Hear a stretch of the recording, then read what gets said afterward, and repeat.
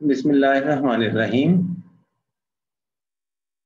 Um, today's आज की जो पोइम है uh, जो मैंने सिलेक्ट की है लेक्चर के लिए लेक्चर के लिए तो नहीं कहेंगे। Uh, अपने ख्याल के इजहार के लिए ताकि वो स्टूडेंट्स जो है इस पोइम को समझने की कोशिश कर रहे हैं और ज़्यादा अच्छे तरीके से इसको समझ सकें। और ये छोटी सी पोइम जो है इसमें बहुत सी बातें हैं। अच्छा जी, एक तो मुझे खांसी बार बार आ जाती गला खराब हो जाता है। एनीवे तो ये जो नज़म है, इसमें इसका नाम है द न्यू ईयर रेजोल्यूशंस नए साल के अहद हैं। अभी अभी नया साल गुजरा है तो नए साल के मौके पर जो है ये जो है, हमारे यहाँ जो है, जिस तरह का ये एनवायरनमेंट है, इसकी बात नहीं हो रही। बल्कि ये एक उस वक्त की बात है जब जो इंडिया के लोग हैं, अंग्रेज़ों से आज़ादी या अपना, अपनी पहचान जो है वो हासिल करने की कोशिश कर रहे थे और अंग्रेज़ अपनी हुकूमत को अपने क्या कहते हैं अपने ताकत के इस्तेमाल के ज़रिए से अपनी हुकूमत को ज़्यादा देर तक कायम रखने की कोशिश कर रहे थे।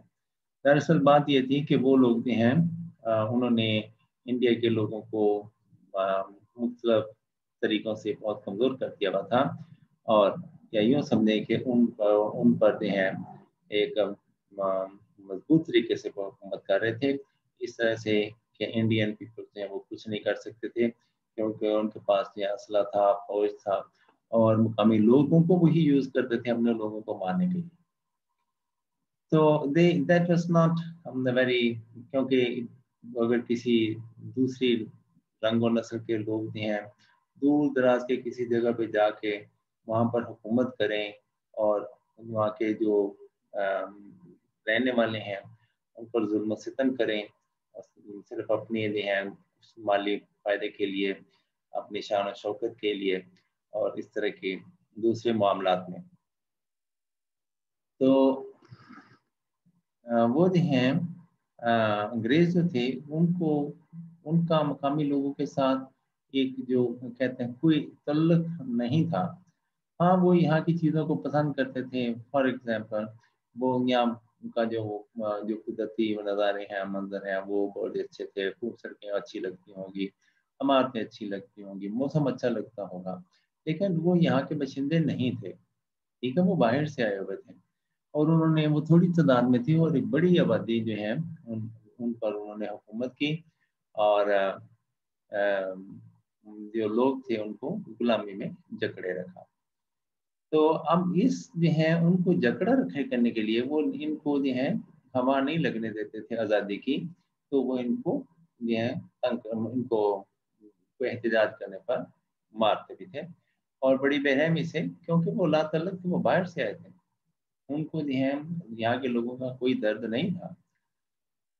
अब ये है इस जो है जो कुछ मैंने अभी तफसील तफ, तफसीलात आपको दी हैं इनको मद्देनजर रखते हुए अब इस नज़म का जो है ज़रा जायज़ा लीजिएगा। क्योंकि शायरा जो है वो अंग्रेज़ माँ बाप की बेटी थी ज़ाहिर अंग्रेज़ उसके माँ बाप अंग्रेज़ वो भी अंग्रेज़ी होनी थी। लेकिन वो पैदा यहाँ पे इंडिया में हुई थी। उसके माँ बाप हिंदुस्तान में दूसरे अंग्रेज़ों की तरह उनके साथ आए हुए थे। आ, तो वो जो है यहाँ पे रह रहे थे। यानी वो क्या कहते हैं नजायज़ कब्जा जो उन्होंने इस इलाके पर किया हुआ था तो उन्हीं लोगों की वो बेटी थी। और अब उसके लिए क्योंकि वो इंडिया में पैदा हुई, उसने यहाँ की मिट्टी पे अपनी ज़िंदगी का आगाज़ किया तो उसका इंडिया से एक गहरा और हमदर्दी भरा तलक था, जो कि उसके माँ बाप और दूसरे अंग्रेज़ों का नहीं था। अब उसको इस बात की तकलीफ़ होती थी कि मुकामी लोगों पर जुल्म तशद किया जाए।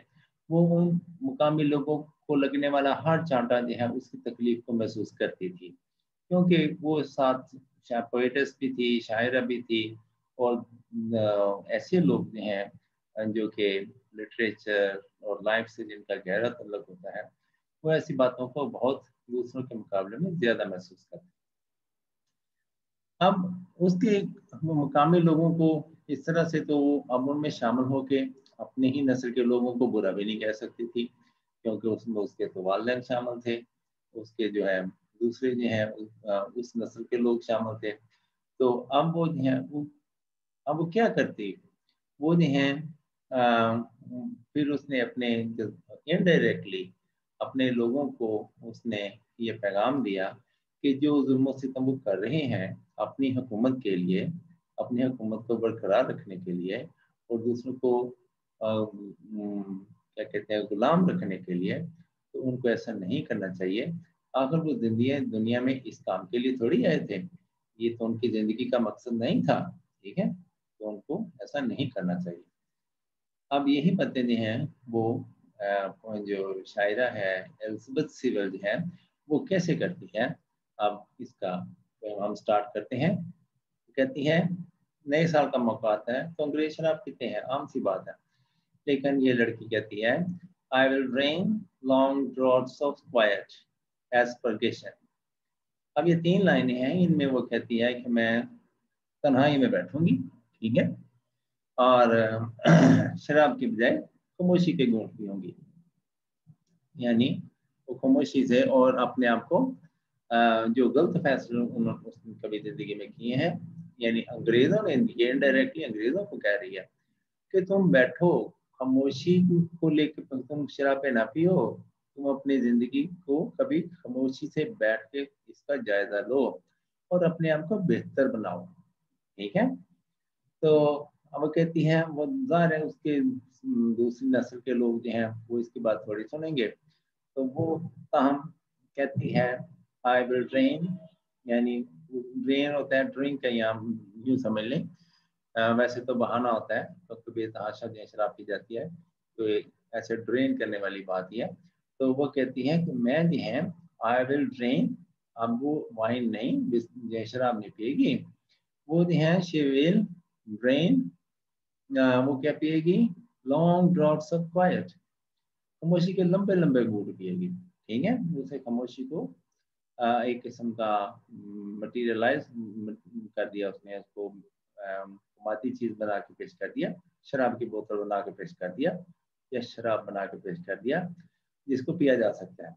तो वो नहीं है कहती है, मैं इसको पीऊँगी। होता क्या है कि पता हम दवाई लेते हैं, दवाई पीते हैं हमारा अगर पेट खराब हो तो वो साफ़ हो जाता है। यानी ठीक हो जाता है। अगर किसी का पेट खराब हो, खुद दवाई पीता है तो ठीक हो जाता है। तो वो कहती है, मैं इसको खामोशी के घूट जो है वो पीऊँगी ताकि मेरा मन साफ़ हो जाए और इसने यानी अच्छे फैसले करे। खूबसूरत हो जाए अच्छा बन जाए, बेहतर बन जाए, ठीक है? हम कहती हैं कि इनडायरेक्टली वो ये कह रही है कि उसकी नस्ल के लोग अपनी ज़िंदगी के मकसद को भूल चुके हैं, ठीक है? तो कहती है कि एक तो उसने ये फैसला किया कि वो अपने आप को बेहतर बनाएगी, अपनी ज़िंदगी का जायज़ा लेगी शराब नहीं पिएगी, अपने घर में किसी किसी कमरे में खामोश बैठेगी और सोचेगी कि उसने सारा साल क्या किया, ठीक है? और मजीद ज़्यादा अच्छा करने की कोशिश करेगी और जो जुल्म है उनसे बचने की कोशिश करेगी और अपना अच्छा इंप्रेशन देगी ज़िंदगी में। दूसरी बात वो कहती है remember twice daily who I am तो वो कहती है कि मैं जो है, अपनी अपने आप को याद करूँगी। ठीक है? रिमेम्बर ट्वाइस डेली तो मैं अपनी ज़िंदगी के मकसद को याद मैं कौन हूँ? ठीक है? मतलब यह है कि मैं इस बात को जहन में रखूँगी, सुबह शाम, यानी वह ये कर रही है कि सुबह शाम वो ये नहीं भूलेगी कि उसकी ज़िंदगी का मकसद क्या है? वो आई एम मैं कौन हूँ? ठीक है? तो यानी कि इस मकसद के लिए आई थी, उसका किरदार क्या था? उसने क्या करना था? तो वो दुनिया में जो है, आई है, उसका कोई नेकी करने के लिए ही दुनिया में अल्लाह ताला ने इंसानों को भेजा है, और खालिक मालिक अल्लाह को तो वो नहीं मानता। तो खालिक मालिक जो है, जिसने हमें बनाया है तो वो जो है, उसने किस लिए भेजा है? उसने कोई अच्छा काम, लोगों को, लोगों के साथ दुख बांटने के लिए, सुख बांटने के लिए उसने भेजा है, ठीक है? ताकि लोग जो हैं, एक दूसरे के दुख सुख में शरीक हों। जैसे एक की पाँच उंगलियाँ होती हैं तो सब में एक बराबर ताकत नहीं होती कोई कमज़ोर होती है कोई ताकतवर होती है। लेकिन सारी मिलजुल के एक दूसरे की दुख एक दूसरे का पाँच एक दूसरे की मदद करती हैं। तो तो काम जो है आसान हो जाता है। इसी तरह हमें भी एक दूसरे का साथ देना चाहिए और हमें ज़्यादा चाहिए तो ज़िंदगी का मकसद है। कहने का मतलब उसका यह था कि उसकी जो नस्ल के लोग हैं, इस बात को भूल चुके हैं कि उनका मकसद दुनिया में आने का ये था कि वो कोई अच्छा काम करे नेकी करें। लेकिन वो इस अजीम मकसद को भूल चुके थे। अब जो है ये तो हो गई तो वो जो है, वो नहीं भूलेगी। इसका मतलब है कि उसके जो फैलो पीपल हैं, उसके जो दादर इंग्लिश मैन हैं, उनको ये बात नहीं भूलना चाहिए कि उन्होंने ज़िंदगी में अच्छे काम करने के लिए उसको दुनिया में भेजा गया, उनको दुनिया में भेजा गया है। फिर वो कहती है लाई और विल लाई और नाइट्स ये है, ओ के ऊपर कॉमा लगा हुआ या तो ये ऑन है या ऑफ़ है, ठीक है? विल लाई ऑन होगा ऑन नाइट्स यानी वो ये ऐद करती है कि रातों को सोया करेगी इन द बोनी आर्म्स यानी हड्डियों वाले तकलीफ़ दे, सूखे हैं सूखे हुए जो बाजू हैं उनमें of reality and be comforted वो ये रियलिटी है, उसने इसको पर्सन बना के पेश किया है पर्सोनिफाई किया है। और कहती है, जैसे कोई शख्स हो, बहुत कमज़ोर हो, हड्डियाँ निकली हुई हो, अब उसके बाजुओं में सोने का क्या मज़ा होगा, ठीक है? तो वह कहती है, लेकिन वो नहीं है, क्योंकि हकीकत जो है, ये इंसान की दिलो जान को सुकून फ्राम करती है हकीकत का जो है, तस्लीम कर लेना। इससे इंसान को एक सुकून मिलता है, खुशी मिलती है। तो वो कहती है कि वो हकीकत के करीब हो जाएगी, हकीकत को तस्लीम करेगी, वो मानेगी। मतलब ये है कि अंग्रेज़ जो हैं, जो जुल्म कर रहे हैं इंडियन लोगों के ऊपर, यानी उस वक्त तो अभी पाकिस्तान नहीं बना था तो पूरे बर सगीर के जो लोगों पर जो जुल्म कर रहे थे, ये हकीकत है कि वो अच्छा काम नहीं कर रहे थे। तो अब वो तस्लीम करेगी कि वाकई वो अच्छा काम नहीं कर रही। तो इसका मतलब है कि वो अच्छा काम करने का इरादा करेगी तो इस तरह से उसको सुकून मिलेगा। ये हकीकत, यानी तलख ही है ऐसे ही है जैसे इंतहाई बेआरामी में जो है बंदा जो है रात गुजारे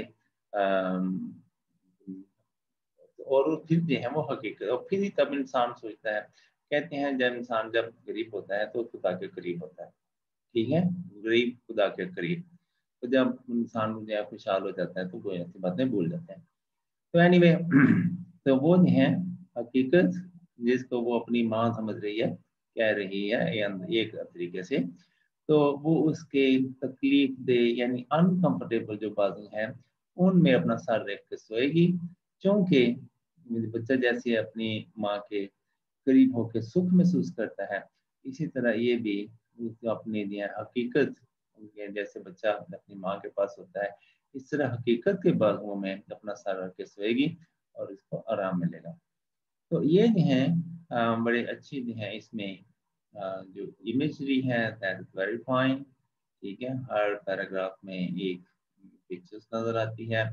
तीन लाइनें हैं। हाँ इस पोइट्री शक्ल के हवाले से ये कोई अच्छी क्या कहते हैं प्रेजेंटेशन नहीं है। आ, हर पोइट्री में दो चीज़ें जो हैं बड़ी अहम होती हैं। ये मेरी अपनी तरफ़ से ये ये चीज़ें जो हैं ये डेफिनेशन वगैरह अंडरस्टैंडिंग आप भी कोशिश ट्राई कीजिएगा। मेरे ख्याल में आपको भी अगर इस अंदाज से शायरी को तोड़ने की कोशिश करेंगे तो आपको काफ़ी आसानी हो जाएगी। क्योंकि इसके बाद नज़म को समझ नहीं एक्चुअली जब हम किसी कोई नज़म पढ़ते हैं या उसका तनकीदी जायज़ा लेते हैं तो दो तीन बातें होती हैं जो हमने देखनी होती हैं। एक तो ये होती है कि कोई शायर जी है, वो क्या कह रहा है? इसको तो सबसे पहले हम फोकस करते हैं।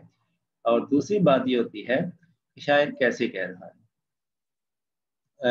ठीक कह रहा है या गलत कह रहा है? ठीक है? शायद क्या कह रहा है, ठीक कह रहा है या गलत कह रहा है? और फिर ये भी देखना होता है कि कैसे कह रहा है अपना पैगाम जो है, उसने सही तरह से लोगों तक पहुँचाया कि नहीं तो ये जो है लाइनें जो है, अनइवन है आई विल ड्रेन, इसमें देखें, तीन जो है, वो साउंड्स हैं, जिनको हम सिलेबल्स कहते हैं। लॉन्ग ब्रॉड्स और क्वाइट ये चार, पाँच छः जो है आवाज़ें बन जाती हैं। एज पर गेशन इसमें चार तो इसमें जो है अनइवन जो है क्या कहते हैं रिदम है और तो शक्लो शबात के हवाले से तो ये कोई बहुत खूबसूरत पोएम नहीं है क्योंकि इसमें लैक ऑफ़ रिदम है। जानबूझ के बहुत अब हमारे खान जी हैं, हम नए नए तरीके आ गए हैं। जो ओल्ड किस्म के पोट्री है, उसको खूबसूरत तरीके से गाने के तरीके निकल आए हैं।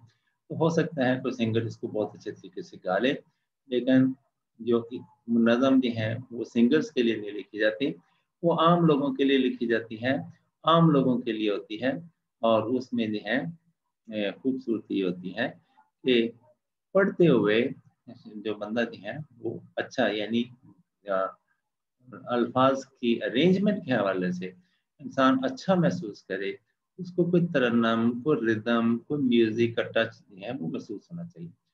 तो शक्ल के अतबार से ये होता है पोइट्री में, अच्छी पोइट्री में दो चीज़ें होती हैं। एक तो रिदम होता है पोइट्री होती है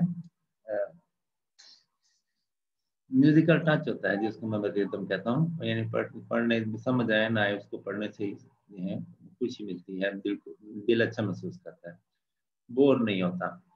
दूसरी बात जो होती है कि उसमें फिलोसफी होती है। फिलोसफी होती है अनबिलीवेबल ट्रुथ होता है अनबिलीवेबल ट्रुथ होता है। यानी एक सच्चाई जो बाहर तो ठीक नहीं नज़र आती लेकिन होती वो दुरुस्त है। जैसे कि मरने के बाद इंसान को ज़िंदा किया जाएगा। तो साइंस तो ऐसी बातों को नहीं मानती, लेकिन यह है, हम इनसे इनकार भी नहीं कर सकते। दो आँखें हमें अल्लाह ताला ने दी हैं, ये हकीकत भी है, और ज़ाहिर है लेकिन साइंस ऐसी बातों को नहीं मानती। चलें को किसी जमाने में अनबिलीवेबल ट्रूथ ही होता है कि बदाहर को बात सही नहीं नज़र आती। जैसे किसी ने पहले कहा कि ज़मीन गोल है तो अब सारी दुनिया ने तो इसका इस तरह से जायज़ा नहीं लिया था। तो उसकी बात को गौर से भी नहीं सुना जो है जो वो बात कर रहा था कि ज़मीन गोल है। उन सब लोगों का आम शायद यही था कि ज़मीन गोल नहीं है। तो ये सीधी सड़क जा रही है तो गोल कहाँ से हो गई?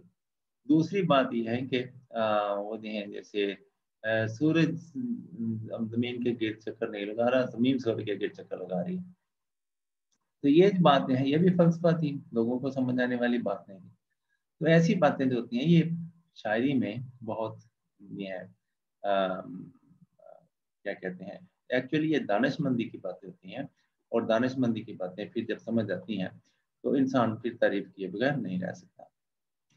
तो इसमें हम ऐसी कोई फिलोसफिक टच भी नहीं देखते हम इसमें जो है, इंतहाई संजीद, संजीदगी का सा एक जो है, अवसर हम देखते हैं।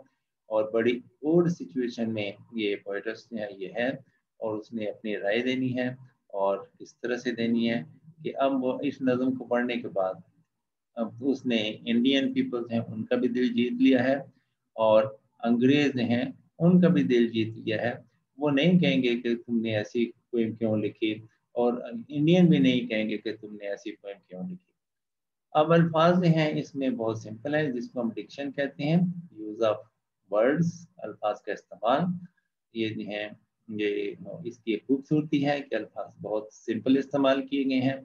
आ, उनकी अरेंजमेंट में थोड़ी सी ओड है ठीक है?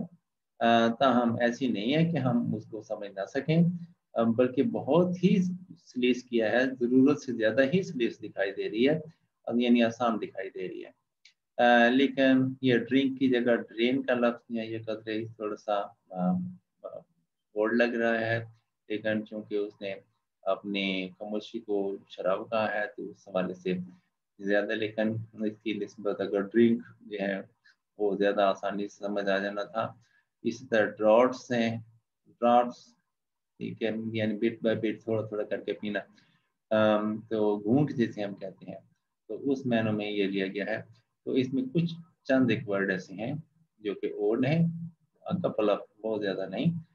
दूसरा जो है इमेजरी जो है, उसमें जैसे तो मैंने भी कहा था, तकलीफ़ दे जगह पे बैठ के आराम महसूस करना, ये फिलॉसफी है, ठीक है? तो ये वो बात है, और आखिरी तीन लाइनों में ये बता तीसरे स्टैंड में लिखी गई है, ये बात बयान की गई है। तो ये जो है बहुत अच्छा जो है, ये तासर छोड़ दिया। शायद यही बातें हैं कि ये नज़म जो है इसकी, ये जो सिलेक्टर्स जो हैं उनकी मंजूर नज़र हुई तो उनको ये पसंद आई, और उन्होंने इसको लिखा। ये नज़म एक्चुअली हम जो नए तलबा हैं उनके उनको एक अच्छी मॉडल पॉइंट है, वो भी मुतासर कराना मकसूद होता है सिलेबस सिलेक्ट करने वालों का। तो ये है, एक अच्छी मिसाल है, एक अच्छी पोइट्री की। अगर अगर ये हैं अल्फाज, अगर कोई रिदमिक होते हैं, इनमें कोई म्यूजिकल जैसे कि वर्ड्स वर्ड्स की शायरी में हम देखते हैं तो फिर जो है, शायद इनके इसी मैसेज को और चार चाँद लग जाते अगर इसकी शक्ल का, यानी इसकी फॉर्म का अगर ख्याल रखा गया था। इस नज़म पर आगे कुछ है तनकीदी सवाल हैं। मैंने आपको सारी जो है उर्दू में ही बता दी है। तो इंग्लिश में हज़ार वो अंग्रेज़ी समझने वाले तो उनके लिए तो बहुत बोरिंग होगा, वो बंद ही कर देंगे। लेकिन जिनको उर्दू में समझ आ रही है तो वो ज़रूर इसको अप्रिशिएट करें। वो कैसे करना है आपको पता ही है, नीचे एक सब्सक्राइब का बटन होता है, उसको दबा दीजिएगा प्रेस कर दीजिएगा और साथ ही बेल बटन भी दबा दीजिएगा ताकि नए वीडियोस हैं, मुझे बना के बनाऊँ और आपको पेश करूँ और आपको है मेरे भी हौसला बढ़े। बाकी पैसे तो मुझे मिलने को नहीं, मुझे पता है, ना ही मेरा कोई ऐसा कोई लालच है। बस आप लोग जो क्लिक कर देते हैं, वो अगर कभी मिले तो तो भी बड़ा अच्छा फील करूँगा और आपके लिए दुआएँ करूँगा। चले अब ये हैं, इसका मैंने आप तनकीदी जायजा के बारे में। अब ये देखें कि ये जो है, क्या कहते हैं एलिजबेथ के बारे में? वही बातें जो मैंने आपको बताई हैं मिलती जुलती होंगी। तो Elizabeth Sewell was born in India of English parents schooled in England with a degree in modern languages from Cambridge University. She visited the States in 1949 and became an American citizen in 1973.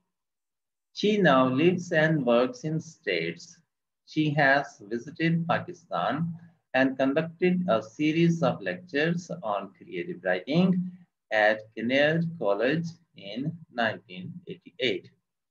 She was given a national award by the American Academy Institute of Arts and Letters for her literary works.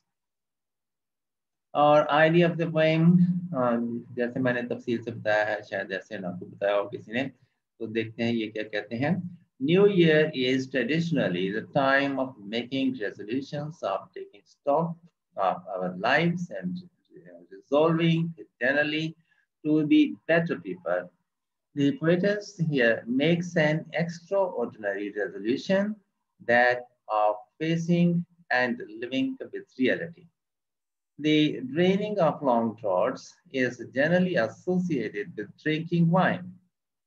But here she is going to drink in quiet as a means of cleansing herself. The nature of reality is uncomfortable. Hence the use of the image of bony arms. But there will be comfort drawn from a resolution fulfilled. Reference to these lines have been taken from the poem New Year Resolutions written by Elizabeth Sewell. आप इसको ध्यान context है this poem is about the New Year resolutions and um, uh, promises and other year has lapsed on the start of the year the poetess takes stock of herself very realistically she tries to make this world a better place by making new pledges. Her untraditional resolution is to face and lie with reality. तो ये हैं आगे explanation है। ये refer to the context हैं आप याद कर लें। आपको ये हैं तीनों इस टेंसेज हैं। उनमें ये इस्तेमाल हो सकता है। तो बारी बारी जो है। स्टैंडा बाय स्टैंडा इनकी एक्सप्लेनेशन दी हुई है। हम देखते हैं क्या, कैसे इसको बयान किया गया है। So lines one, two, three, yani first stanza.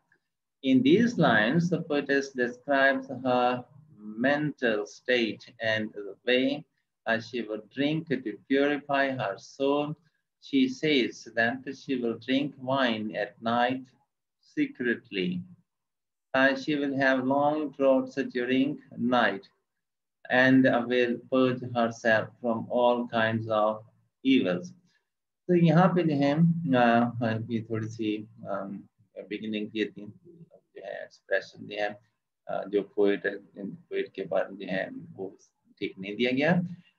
कि वो खामोशी से रात को बैठ के शराब पिएगी, इसका मतलब ये नहीं है कि वो शराब पिएगी, इसका मतलब ये है कि वो शराब पिएगी ही नहीं, वो तो खामोशी को पिएगी, यानी खामोशी को एंजॉय करेगी, खामोशी को, के साथ अपना न्यू ईयर सेलिब्रेट करेगी।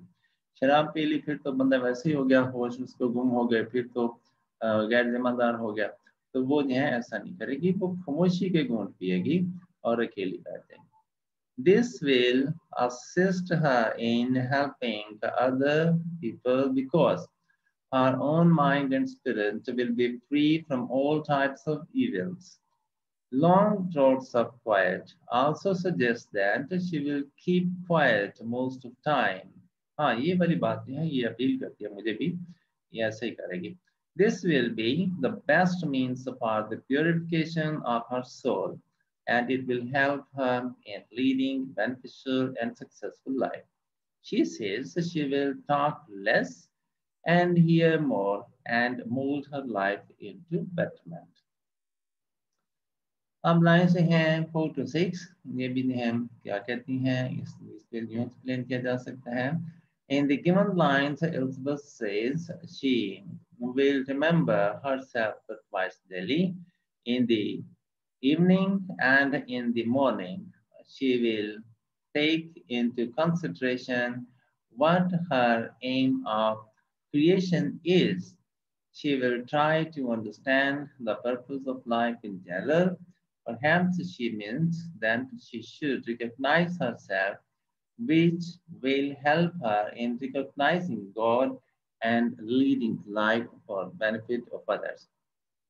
अब हम जो है देखते हैं आखिरी तीन लाइनें दी हैं ये थोड़ा सा स्टैंडा दूसरे स्टैंडा की इसमें कुछ ज्यादा वर्ड्स यूज हुए हैं तो line 79 and these are concluding lines of the poem here the poetess says she will accept reality whilst sleeping at night she will consider the bitter reality of life during the new year she will make some promises and pledges she will sleep on thin, less fleshy arms of reality. Accepting reality and facts is always a difficult thing, but she will accept it bravely. She will feel relieved and satisfied when she comes to know that she has spent her life for the benefit of others. The image of bony arms is a hard reality even then she will get delight and feel comfort, comforted when she has fulfilled her promises and resolutions she has made on the start of a new year. यहाँ पे जो है बात उस तरह से नहीं जितने गहराई से नहीं बयान की गई, बात असल ये थी कि अंग्रेज़ जो है, ये एक हकीकत थी कि अंग्रेज़ जो है, वो इंडियन लोगों पर जुल्म कर रहे थे। It was reality that the British people the English people they were torturing Indian people who were the locals and this was not good ये ठीक नहीं था। They should not have done this तो ये है रियलिटी थी। लेकिन वो कह रहे थे कि वो अच्छा काम कर रहे हैं। That was not reality reality was that that the english people, they were wrong. This was the reality. और जब वो है अब वो इस बात को महसूस करेगी, जब वो समझ लेगी, जब उसने अपना जुर्म तस्लीम कर लिया, यानी जब अंग्रेज़ जो उसके जो फैलो उसके जो रेस फैलो हैं, उसके नस्ल के जो लोग हैं, जब वो इस बात को तस्लीम कर लेंगे कि वो गलत कर रहे हैं, वो ठीक नहीं कर रहे हैं, वो नेकी के नाम पे उनको जुल्म कर रहे हैं तो फिर जो उनको सुकून मिलेगा।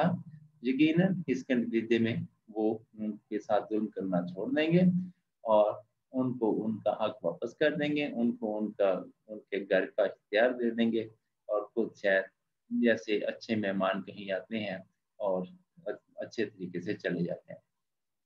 तो अगर वो आए ही थे, मेहमान बन कर रहे थे तो उनको मेहमानों की तरह आना चाहिए था और यकीन यहाँ के लोग भी हैं इतने मेहमान नवाज़ हैं।